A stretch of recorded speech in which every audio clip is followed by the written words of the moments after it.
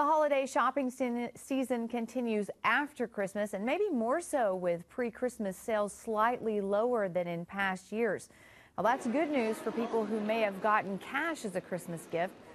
Just look around Parkdale Mall and the sale signs just jump out at you. It's nothing to see at least half off. There you just saw 75% off. Stores are also opening earlier and staying open later. Shoppers are noticing the new trend and we're out in full force today. Still got some money left, so I'm, hey, until I'm broke, I'll be out here. We've expected it. We usually expect them to come in. We plan for it. They, we staff it for them to come in. They come in early in the morning. They were here when we opened the doors at 7.